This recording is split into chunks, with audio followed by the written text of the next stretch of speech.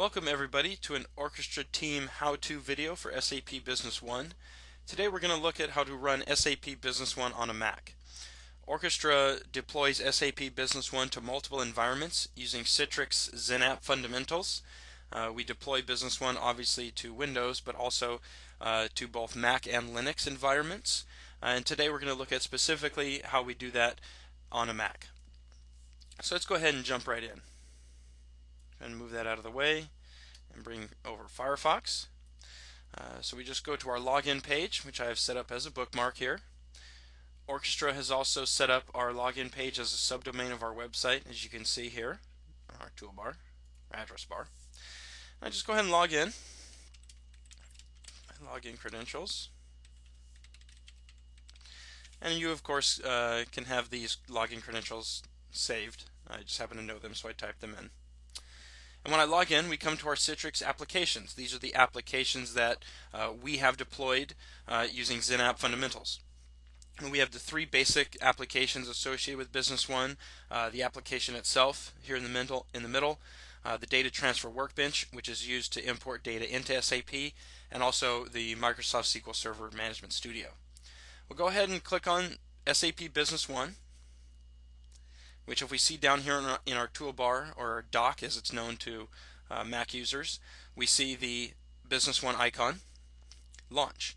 Uh, to the end user, it looks as if Business One is launching just like all the other applications uh, on, on their Mac in their dock. Uh, to the technical person, though, if you hover over, you can see that this is actually the Citrix ICA client, which is used to publish the information over the web uh, from the application on the server. So from a technical standpoint, we know that the information is passing up over the web.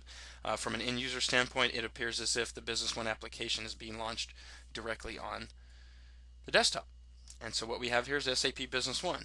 Uh, if I go ahead and just minimize this, get this out of the way, uh, we can see we have Business One right here on the Mac. Go ahead and bring up an invoice. Bring up uh, an invoice here with some data in it. just a few back. Okay. Uh, we can see that I can resize this window. I can make it bigger. Uh, I can move it around. I don't see any of the lag associated with uh, remote desktop. I can minimize this application. When I minimize it, it drops it down into my dock like all of my other uh, Mac applications. Bring it right back up. As you can see, it's nice and seamless. We don't see any of that delay. Uh, to show that this is absolutely on a Mac, I can bring over, I have iCal running here. iCal is a native Mac application. It's the calendaring uh, solution here with the Mac. So I can have it uh, running right next to Business One. As you can see, we don't have any of the issues associated with running one application on top of another with Business One. I can switch right back and forth. I don't see any of that uh, kind of lag that, that you see every once in a while in, in other uh, deployments. Uh, and a really cool feature of this is my access to my localized data. You know, one of the big challenges with remote desktop is when I want to save a PDF or an Excel file or something uh, from Business One onto my local hard drive and I want to e easily email that. That can be a cumbersome challenge. But with Citrix, uh, as far as the end user is concerned, it's very much like Business One is right here on their desktop. So for example, uh, instead of looking at an invoice, if we go ahead and run a report, we look at sales analysis, and we just go ahead and run it for customers. If I go to Excel and I want to export this data out to Excel and I click my drop down, I can see that I have a, uh, an option here for client. If I click that, uh, my Mac always asks me if I want to allow that. It's a security feature that I've turned on. And I can see here's my Mac folders. If I click desktop, I can see that uh, I can save the application or I can save this file directly to my desktop.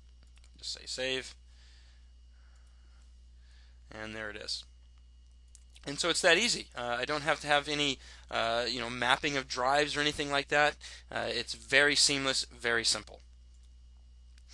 And there you have it, SAP Business One running right on a Mac using Citrix XenApp fundamentals.